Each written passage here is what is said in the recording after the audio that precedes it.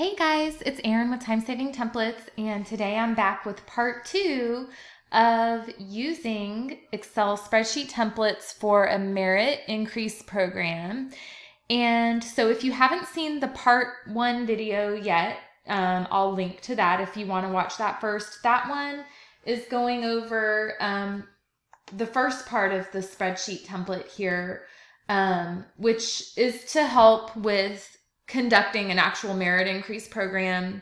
And so that video goes into um, how to use the template, how to how to determine the merit increases. So now we're going into part two, which happens after the merit increases have been determined, and you want to do some breakout of different analysis of um, a couple things. There's the job, the department and job analysis, and also the gender analysis. And these two are kind of combined into one file. So I'm just going over it all together.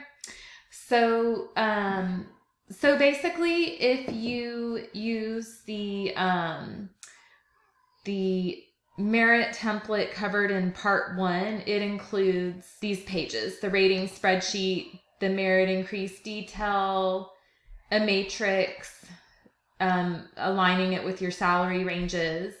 And then part two is covering um, the other pages that you see here on the bottom, which is taking all the information that was entered for the merit increase details and summarizing it by department, job. Basically, you enter the detail information and the charts will populate with your summaries. Um, all that you really have to do to get the second part to work for you is um, enter your department names for the job page. You're going to enter the specific job titles you want summarized. And even if you already have completed the merit program, you would just need to copy and paste the information into the template. And then that way it can pull from the department and title and pull in all of your um, information. So I'm going to go over what is covered in each of these pages. We have different summary pages that will link back to that merit detail page. So this one is a department. Um, you would just enter the departments here exactly as they are entered right here in the department column. So um, you would just match up everything that is listed out in the details page. You would put the department names here, and they have to be spelled exactly the same in order to link. So then once you do that, it's going to pull in the current total base, the the increased budget for per each department, actual base salary after the increase, actual increase amount, and then also under over budget. So everything here is showing over because um, that's probably because I changed the budget to 3% and then we're giving everybody um, above 3%.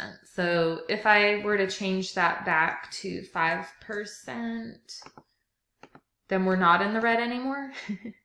and and then now it's only considering a couple of departments that are over their budget for their department. And then scrolling right, it's just going to give counts. So it's going to show, you know, 24 employees, 21 are receiving an increase, three are not. Out of um, all of them are eligible. So you would want to look into maybe, okay, why are these three not receiving an increase? The average increase percentage per department, maybe one department is a lot higher than others and then we can also look at the number of increases over 10%. So HR is giving out, you know, four people are getting over 10%. Maybe that's something to review. Number of new salaries over a certain amount. You can edit these two numbers. So if you want to see a, a count of everybody over 5%, or maybe you just want to see how many are over 20%, nobody then you can edit that and it will update. You can also edit the new salary. So maybe you just want to see is anybody over this amount? Well, there's two people in West region. So that kind of um, flags that out. And then you can go back and probably filter for the that information in the detail page. But this is just giving a summary. Average increase amount per department, uh, highest increase percentage. So what's the highest? Um, what's the highest amount of the increase? That's in West region again. And then the lowest increase percentage. Then if we continue scrolling, we're going to have the same type of stats, but broken out per uh, male and female and count of those with no increase out of those who are eligible. So it's just flagging, okay, these people are eligible, but they're not getting an increase. So kind of um, just seeing why that is. And then we also have summary by job. This is going to be where you, you need to enter the exact job title that you want to, to view information for based on column I in the details page. So we're going to need it to match exactly. And then it will pull the that information so you can see uh, per title the counts of increases, the average increase, the same information on department, except we're looking at per job title. So, you know, four people in this job title are getting over 10%, or maybe the lowest or highest percentages, and also breakdown of the male female um, percentages of averages and percentage of increase. And then if we keep scrolling, there's also charts. This information will all fill out um, based on the merit increase detail and populating the job title and well populating the department. um, the department charts are based on department information you enter here so it's basically summarizing that information in that page into some different charts to show the total increases average by department and male female percentages totals. Um, then there's also a gender analysis. It's going to look at the the breakdown increases, head count, um, not receiving an increase, and then it's also breaking down into region the same information. Really, a lot of information that it's going to plug in uh, for you.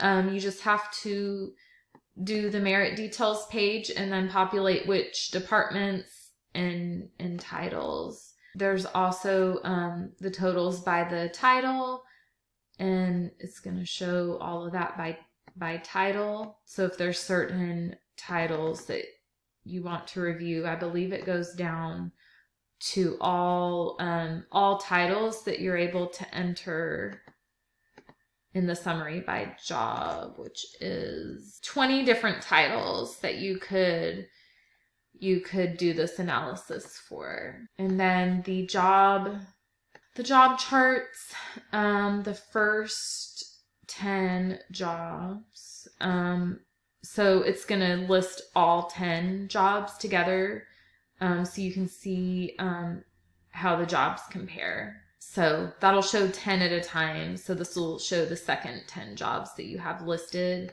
in that summary by job page. Um, so that will show you averages and total increases per job title is where this page will show several summaries um, with one job. So one job title, engineer, and then the total population receiving, male and female. Those are all the summary pages that you can get with the merit increase template. So kind of two different things that can be broken out if you already have your um, merit increase program. You could just plug in the information in this page and then it will um, then it will populate the summary of what was received so the first part is kind of during the program to facilitate the merit increases.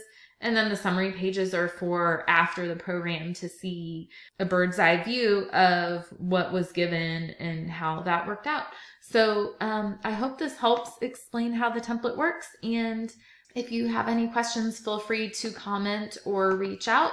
And if you'd like a copy of the template, you can go to timesavingtemplates.com, look for the HR spreadsheets section, and there you will find the merit annual merit increase with options to select the um, merit analysis as well. And um, I'll link to the actual template as well. That'd probably be easier. And we also have a free comp metrics cheat sheet um, that goes over comp ratio and some of those other metrics specific for comp uh, for compensation. And you can get that at timesavingtemplates.com slash free resources and click on the comp HR compensation uh, freebie cheat sheet to get that. So until next time, don't forget that I'm here to help you streamline and save time with our pre-made spreadsheet templates. So uh, thanks again. And if you enjoyed it, feel free to like and subscribe. Thank you.